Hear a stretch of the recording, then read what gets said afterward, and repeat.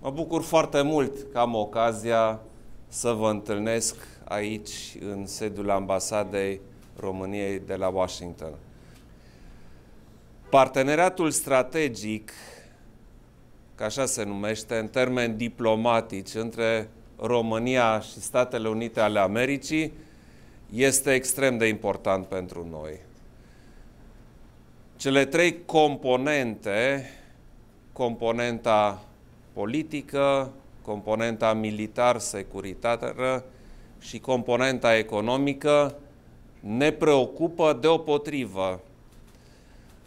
Dacă la partea politică, după cum am spus, stăm extraordinar de bine, zona militară și a colaborării în domeniul securității stăm foarte bine, avem foarte multe programe comune și în fine în domeniul 3 economic, e, aici cred că mai este loc.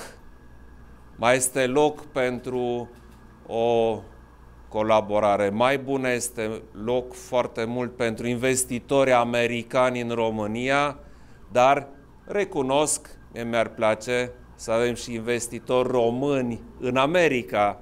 Faptul că în această seară ați venit aici, în ambasada României, este o dovadă clară a faptului că, de fapt, cu inima mai sunteți în foarte mare măsură acasă. Și de aceea vă rog să fiți ambasadorii noștri, să duceți mesajul României până în ultimul cătun din Statele Unite,